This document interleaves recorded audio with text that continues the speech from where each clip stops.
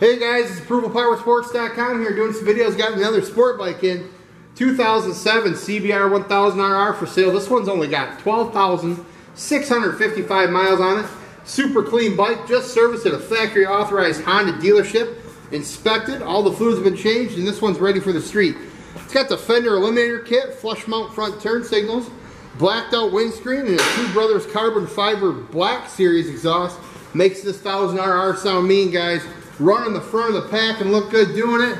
You got guaranteed financing, leasing programs, layaway programs. Your trades are always welcome.